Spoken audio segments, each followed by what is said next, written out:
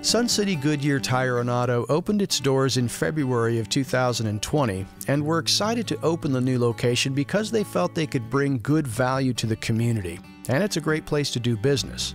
They're a full service auto repair shop with experienced professionals and pride themselves on offering the best bumper to bumper care with a personal touch.